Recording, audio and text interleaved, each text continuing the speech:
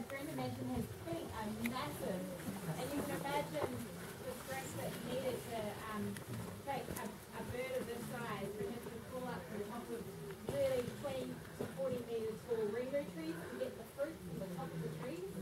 Uh, and to hold on um, in those southerly winds down in Whenua Hou, uh, Codfish Island, which is near Invercargill.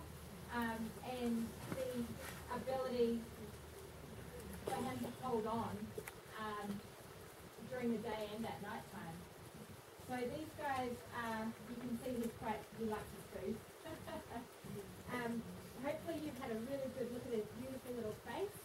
Now, it's my favourite feature of the kakapo.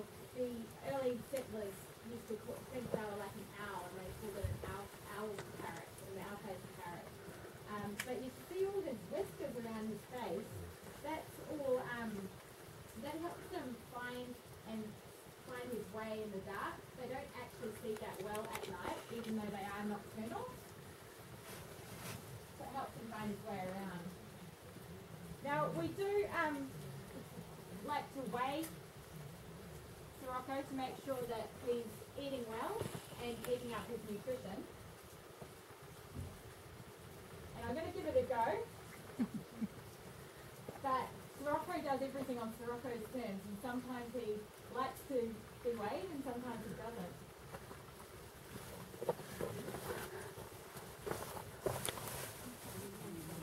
One foot on. He's gonna milk it. He's gonna roll. Sorry. I put him too early. But yeah, we don't make Sirocco do anything. Um, yeah. He's definitely not silly. Alright, you gonna take this picture? We don't make Sirocco do anything he doesn't want to do. Um, and um, I think he's just interested in food at the moment. So how heavy do you guys think he is? Four kilos? Three kilos? Pretty big, isn't? There's a lot of that feathers.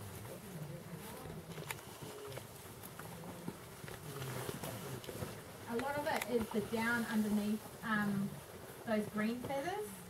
So a lot of the size of them is that weight. Go.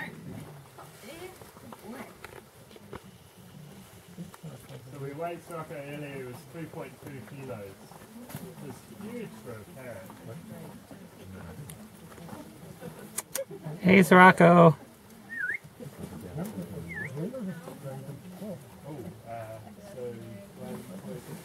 Like 2.2. It's a, Five, pounds.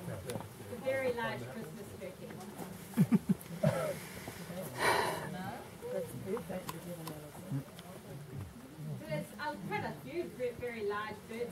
Go back the other way. Okay.